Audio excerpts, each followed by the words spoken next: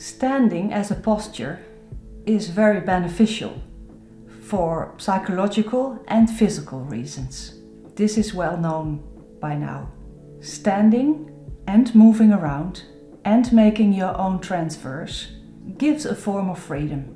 And therefore, the Struzzo, therefore, Struzzo is the one and only autonomous hoist in the world.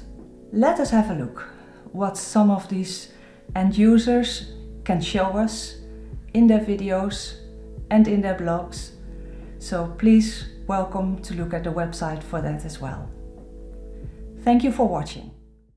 Welcome at this video of Anita.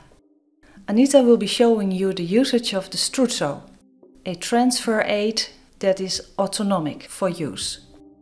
Anita has been diagnosed in 2010 with a neurological disease. As you can see, she is now preparing the Struzzo for her use. It is always individually adaptable. She puts the seat on the height of the wheelchair seat, so she can move forward in a moment and place herself on this seat. She adapts her feet to go on the foot plates behind the heel pockets. Here you see her place the foot on the foot plate. It will stay fixed together with the knees in the knee rest, so she is fixated but free to move. With the remote control, she can put herself up in the standing position.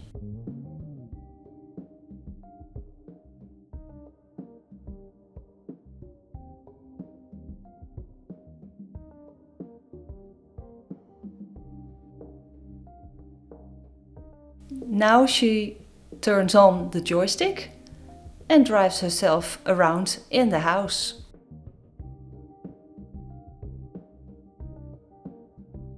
When she has to place herself back in the chair, she lowers herself with the seat onto the seat of the wheelchair with just about a space of 5 to 10 centimeters, so there is no gap between the seat of Struzzo and the seat of the wheelchair.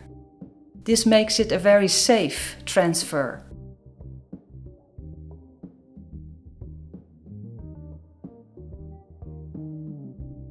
You see she can move back and with the remote control she can move away the Struzzo to a parking spot in the house. Anita is going outdoors with the Struzzo. She will drive to her garage so she can make a transfer there to another aid which she uses to go cycling with her daughter of four years old. She used to make this transfer to a scootmobile, but this was for her no longer possible.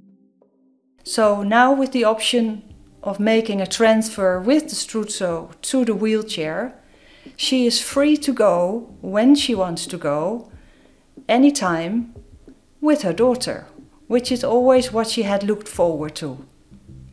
We think Anita is a great example of someone who makes the best of everything that is still within her possibilities.